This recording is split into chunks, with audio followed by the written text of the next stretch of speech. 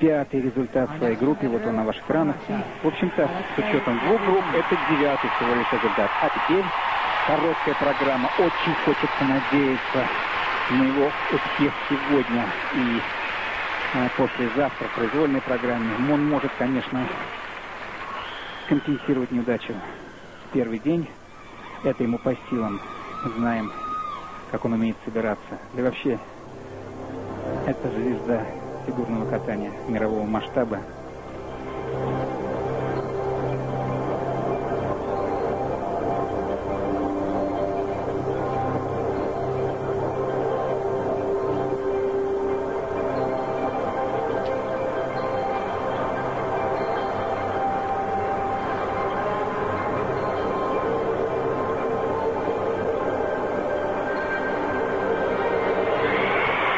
Только три вместо четырех.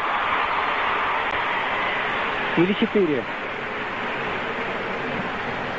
Мы оба волнуемся, переживаем с Андреем. Вы знаете, у меня ощущение, что он 3-3 сделал. Мы посмотрим в повторе. Андрей думает, что 4.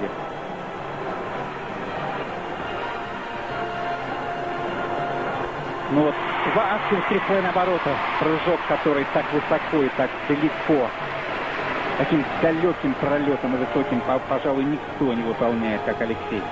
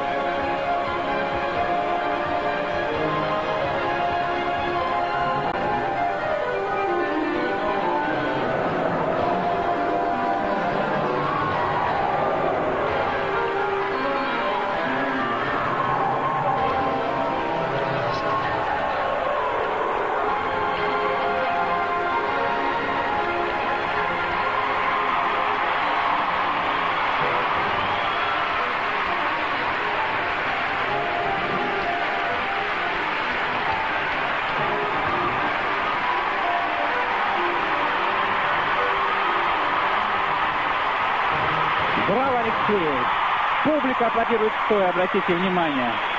Оценила по достоинству выступление нашего фигуриста. И посмотрите на выражение лица Алексея. Желваки играют на скулах спортсмена. Да, он, конечно, реабилитировался за неудачу в первый день. И я думаю, что у него есть прекрасные шансы побороться даже за первое место за звание чемпиона мира, который он уже трижды завоевывал, трижды подряд. Напомню, он чемпион мира 98-го, 99-го и 2000 годов. Но, к сожалению, вот первый день соревнований, я думаю, ему помешала травма ноги. Ведь он в безобидной ситуации повредил ногу после пробежки. Обычной пробежки он почувствовал за три дня до старта. Браво, Алексей.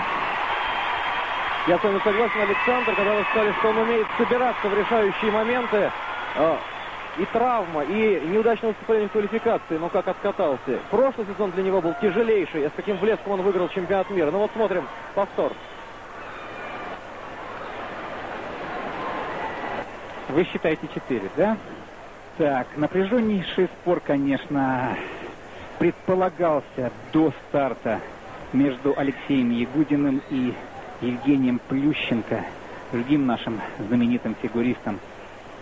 И причем этот спор начался уже с тренировок, даже до квалификации. А ведется он уже как минимум третий сезон, проигрывая на чемпионатах России трижды подряд и на чемпионатах Европы дважды Евгению Плющенко. Алексей Ягудин, тем не менее, на каждом из трех предыдущих чемпионатов мира опережал и его, и всех остальных умеет мобилизоваться в нужный момент. Он это демонстрирует прекрасно. На главный старт года, на чемпионат мира. Татьяна Тарасова, видите, ликует. Радость сквозь слезы, пожалуй.